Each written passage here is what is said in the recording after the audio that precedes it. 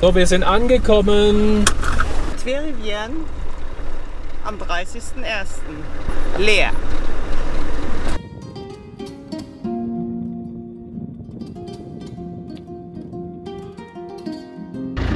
So, wir waren jetzt, sind jetzt gerade auf Neuputz angekommen. Camp Nummer 1 ist belegt.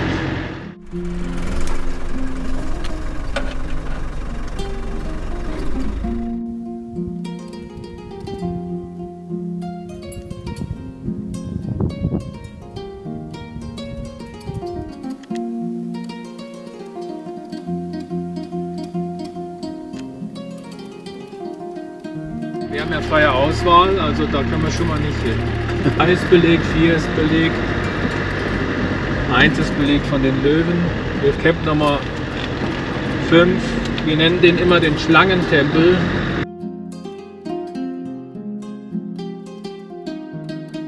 Und Camp Nummer 6 wäre auch noch frei, wie ich sehe.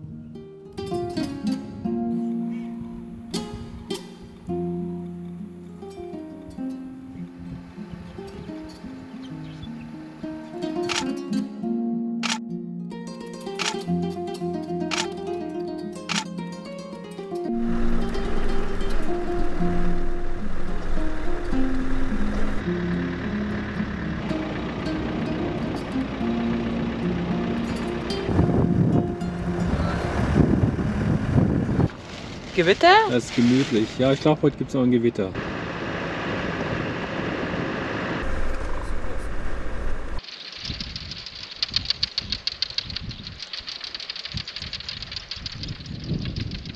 So, ich bin gerade oben raus aus dem Dachzelt. Kommt ein Gewitter.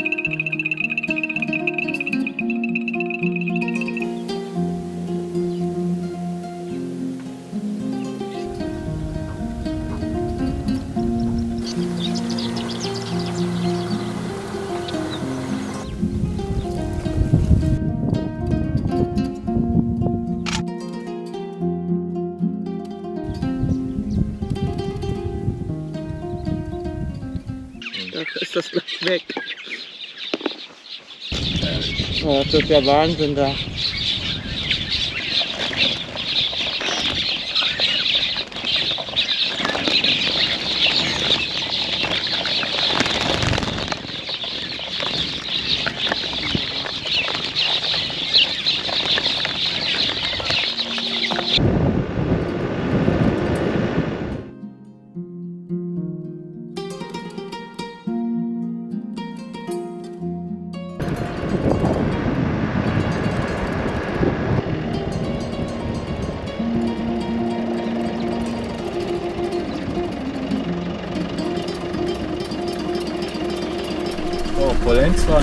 61 Kilometer. Und gerade erfahren, letzte Nacht hat es in Polenz war wohl heftig geregnet. Also mal schauen.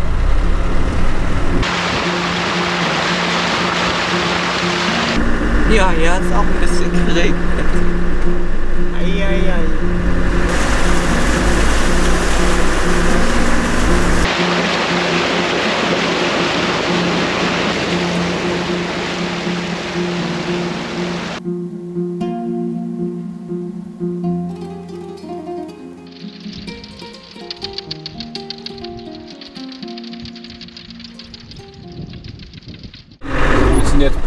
Polenzwa, haben da übernachtet. Heute ist der 2.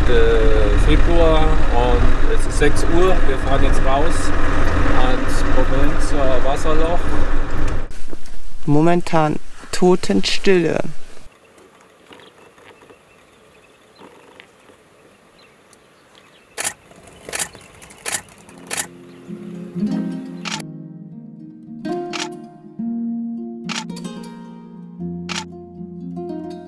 Wir stehen jetzt hier seit ungefähr eineinhalb Stunden am Polenzwa Wasserloch und ja, wir packen jetzt zusammen. Wir verlassen jetzt Polenzwa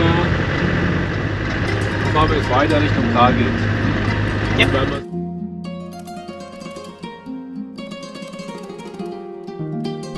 Das sind jetzt gerade Mauersegler hier. Ja.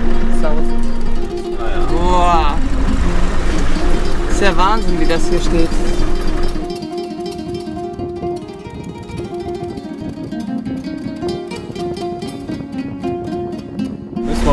Wasser fahren.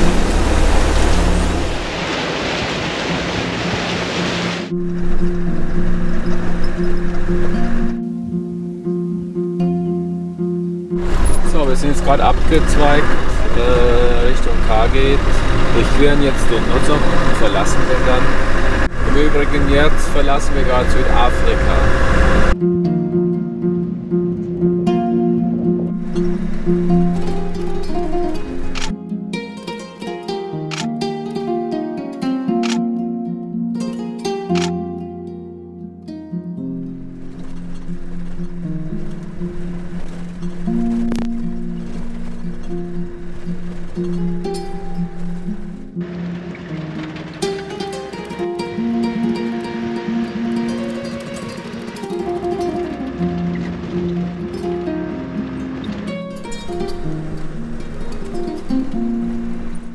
Karget sind wir angekommen. Wir müssen uns auf nächtlichen Besuch gefasst machen.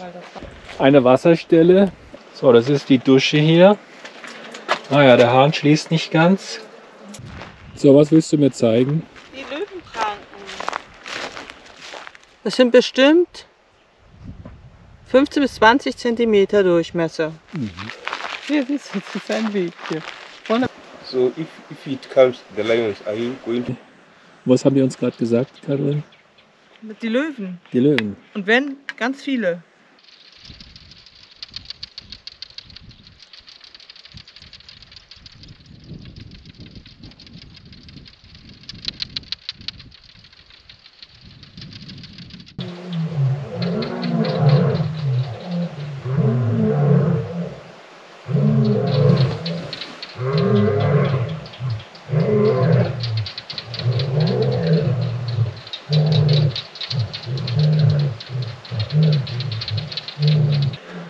So, gerade aufgestanden. Die Löwen haben sich gemeldet. Und die sind ganz nicht weit weg da drüben. So, Löwe ist natürlich da hochgelaufen. So wie wir es vermutet hatten. Dann schauen wir mal, ob wir erfolgreich waren.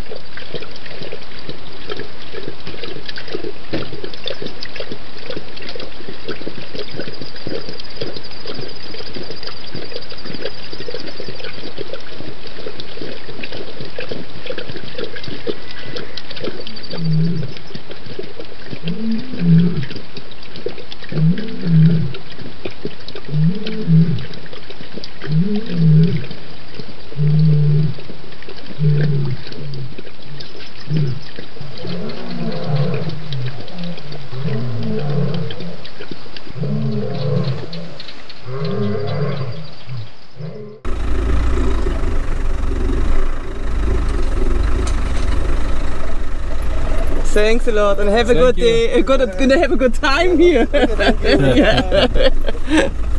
So, wir fahren jetzt schon außerhalb des Parks. Vor uns alles voll mit Löwenspuren. Das wäre schön hier, ne? Schieben aus, Riesenbrecher. Ja, ja. Das kann ich mir schon vorstellen, dass die hier mal durchsprechen.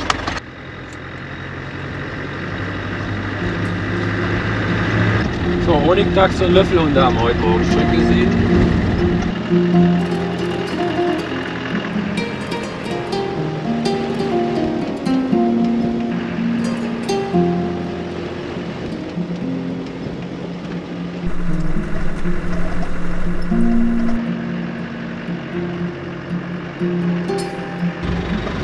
Zwei Löwendamen. Das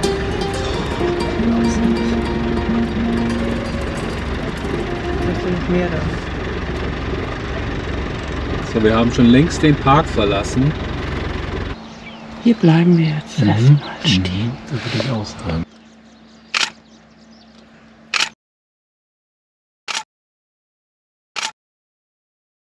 So, hier vorne liegen die Löwen.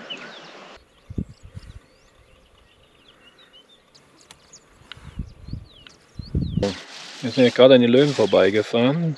Die sind ungefähr jetzt 400, 500 Meter hinter uns. Jetzt sind wir hier oben auf der Anhöhe und vor uns geht es zur Pfanne runter.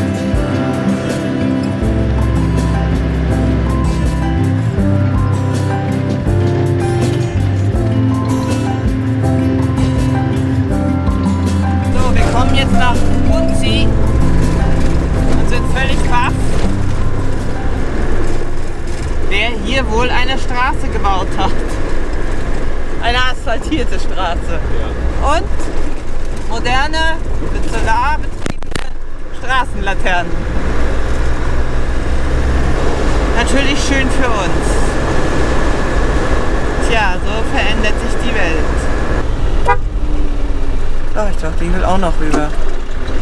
Muss nur warten. Eieiei. Wir sind auf dem Weg zum Zentral Kalahari Game Reserve. Jetzt verlassen wir wieder den Kalahari Highway. So ist gerade vom Kal- Trans-Kalahari Highway abgebogen.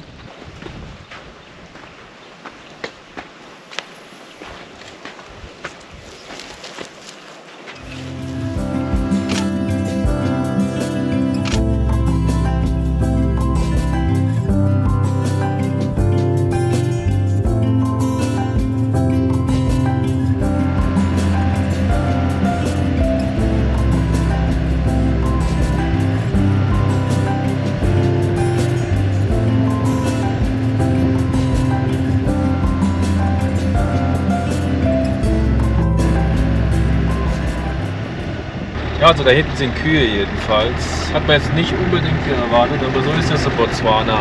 Diese Kacklein, Grenze vom, was weiß ich, Farmland zum Zentralkalahari Game Reserve äh, sind jetzt hier 120 Kilometer, die wir fahren müssen. Uwe bringt da jetzt ein Netz vorne an, damit er Grassamen einfangen kann. Ja, Wahnsinn.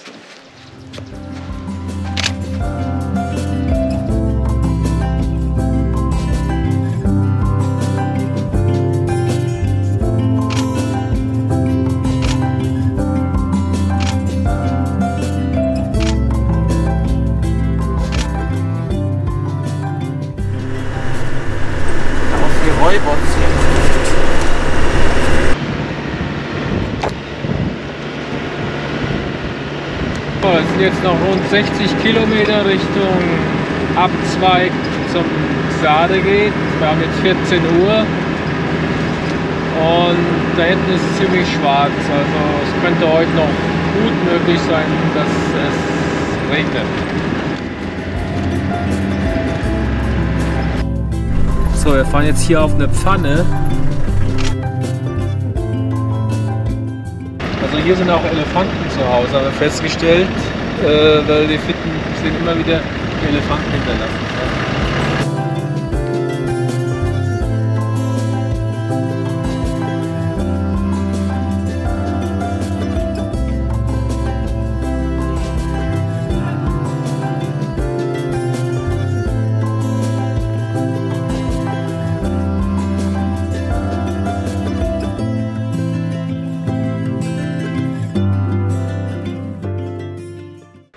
Hier waren die Elefanten am Arbeiten.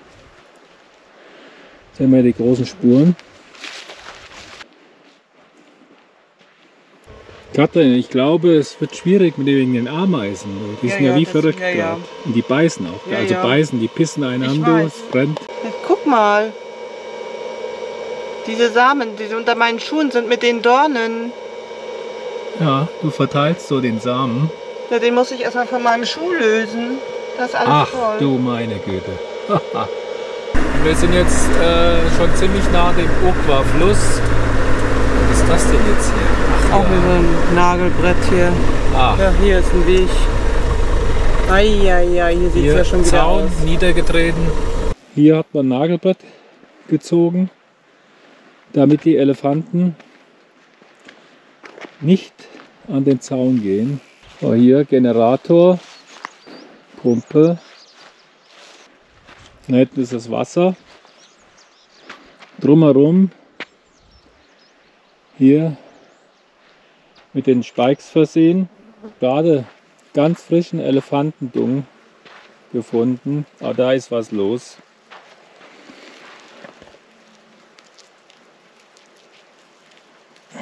Voll mit Mistkäfern. So, 5. Februar. Wir sind jetzt hier an der Kreuzung, wo es geradeaus geht zur Grasland Safari Lodge. Links geht es nach Xa, äh, ja, New Xade und rechts geht es jetzt hier zum Xade Camp. Da fahren wir jetzt rein.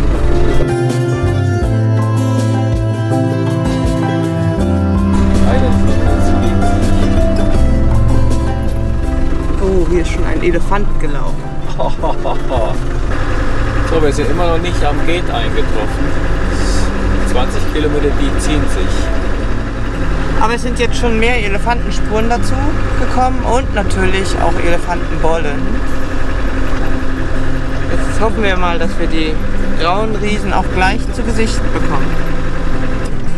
Wir kennen die Gegend eigentlich nur knochentrocken. Das Gras steht jetzt gut 1,20 Meter hoch. Nicht sogar bis zu 2 Meter teilweise. Ganz, ganz toll.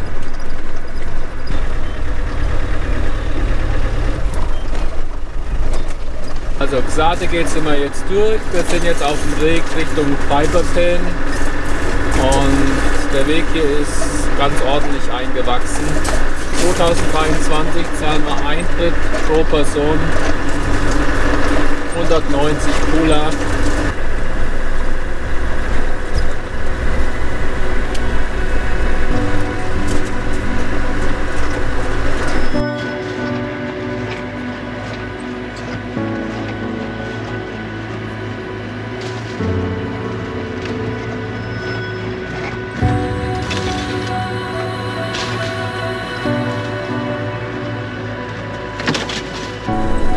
So, wir sind immer noch weiter Richtung Piper Pan unterwegs. Was hast du da gerade? Blitze! Echt? Die sind ganz schön dunkel. Was ist das denn?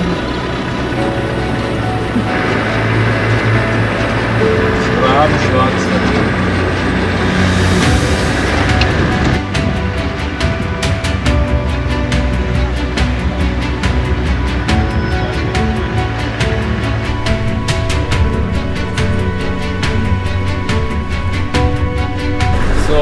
fahren jetzt auf die Piper Pan zu. Uhrzeit Geht nichts anderes. im Auto. Wir wollten doch heute kochen. Wir stehen jetzt an der Piper Pan am Wasserloch.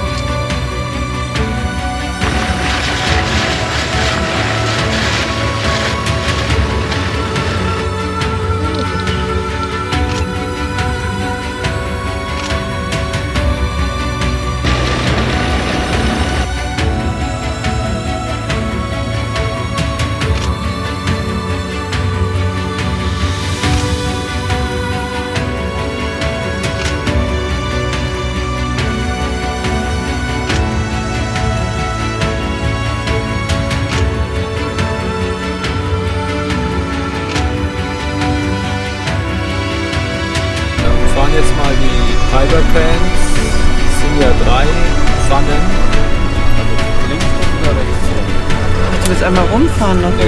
Nö, ich muss das nicht, fahr links.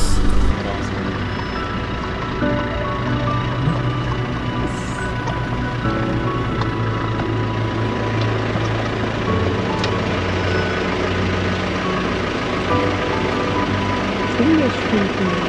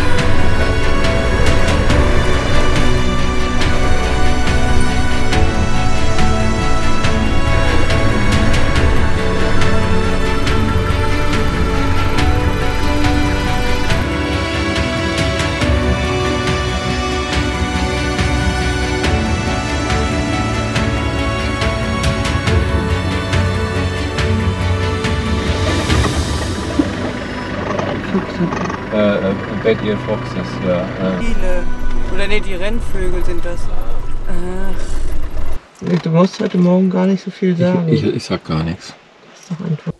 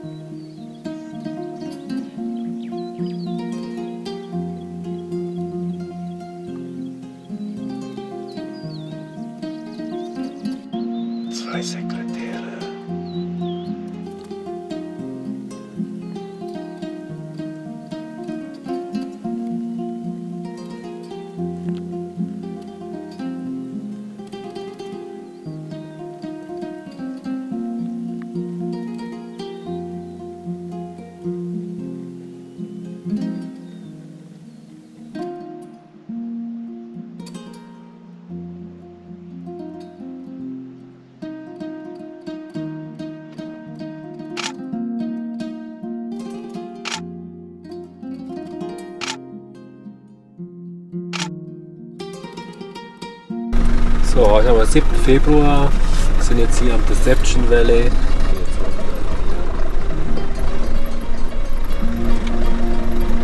So, hier wo wir jetzt stehen, in etwa, wir haben also damals dieses Owens Paar gelebt. Jeder kennt den Klassiker, na nicht jeder, aber fast jeder, Ruf der Kalahari.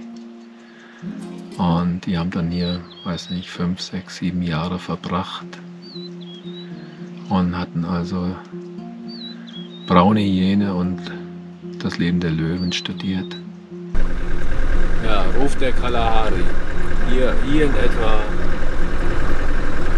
hat sich das alles abgespielt.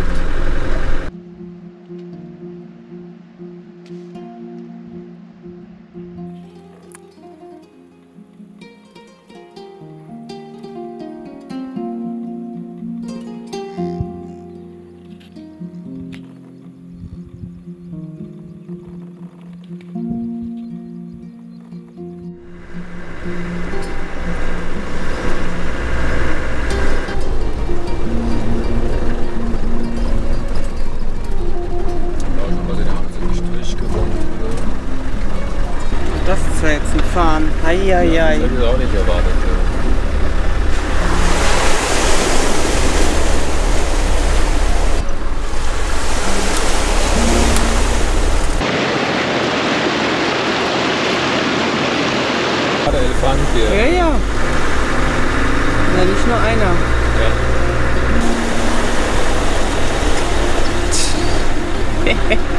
Ja, nu.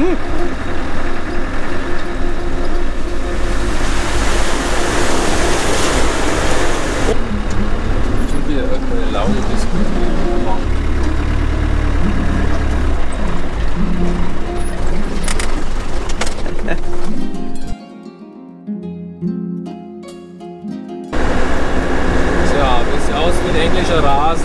Alles, alles ja ganz kurz abgefressen. Ja, Botswana hat ja so drei Standbeine. Diamant, Kühe und Tourismus. Kumaka Village, Magadigadi und Gnai- Gnaipen Nationalpark, Ventrigate, jawohl, hier sind wir richtig. Botete ist die Grenze zum Nationalpark. So, und hier sind wir letztes Mal mit der Fähre rübergefahren. Unglaublich. Hier war ein Fluss so breit wie der Main oder der Rhein. No more water in the Botete River. No more water, huh? No more water. So the ferry, the ferry sitting on the Ja. dry ground. Tja. Ja, vor vier Jahren versiegt, kann man sagen. Wir waren so einer der letzten, die noch durch mit der, mit der Fähre fahren konnten. Ja. Aber es kann sich immer wie- jederzeit wieder ändern. Ja. Ja. So, wir fahren durch den Boteti.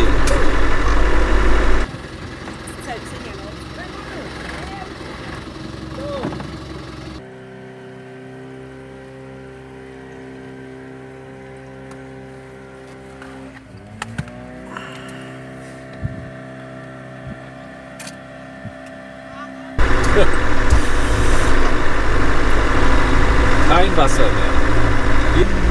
Nein, er hört dich schon, er guckt schon.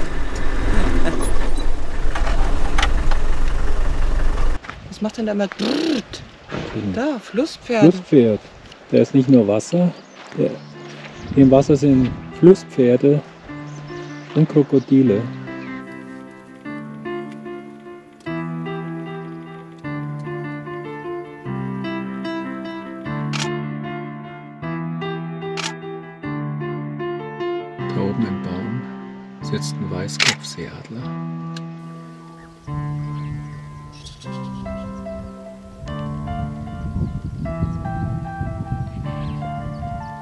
Ohne, ohne quick, quick. Das ist funny. Ja, ich denke, die Menschen, die werden hoffen, weil es dieses Jahr relativ viel Regen hat in Botswana, dass irgendwann der Potete wieder fließt. Aber Voraussetzung ist natürlich, dass es in Angola viel regnet.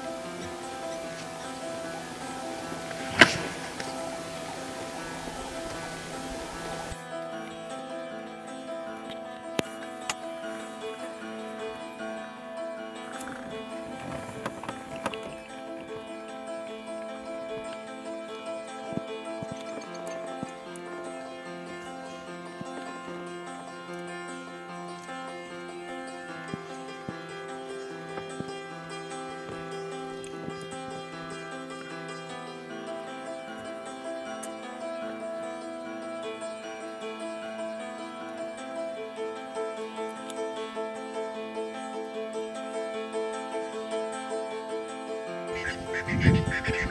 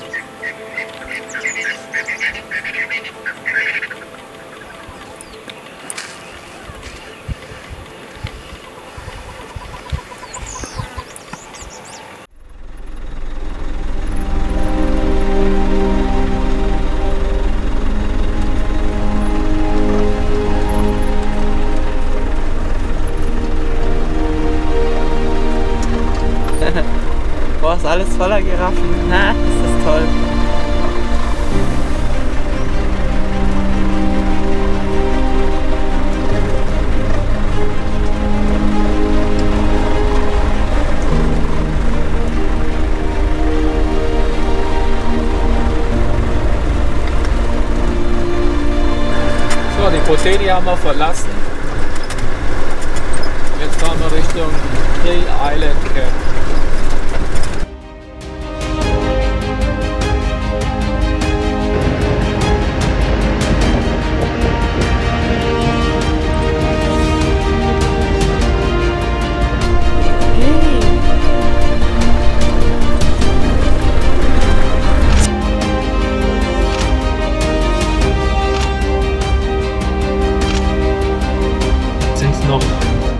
zwei, drei Kilometer bis Tree Island?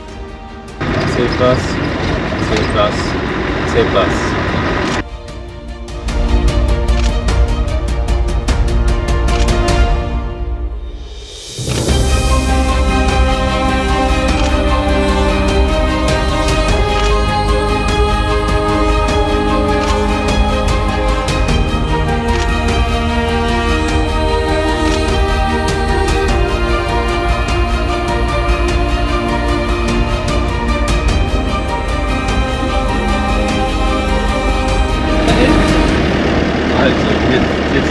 Wir vorher keine C-Plus gesehen haben. Die sind alle hier.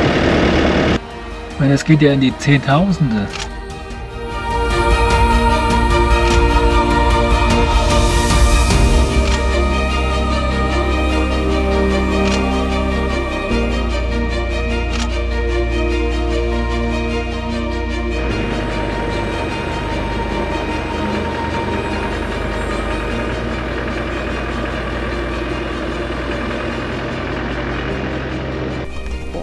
Ein Traumplatz.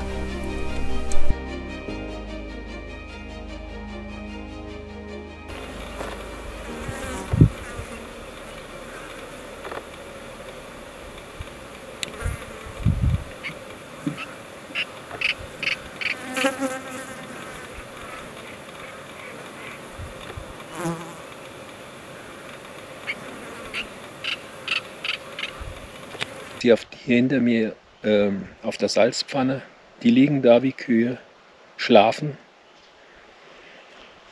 So was habe ich noch nicht erlebt. Also für uns hat sich der Weg gelohnt. Man muss zur rechten Zeit am, am richtigen Platz sein. Ja. Hallo, ich wollte euch nur noch mal im Anschluss an diesen Film ein Buch in eigener Sache vorstellen. Und zwar ist das Kalahari, alle Parks der Kalahari. In dem Buch beschreiben wir sämtliche Parks der Kalahari.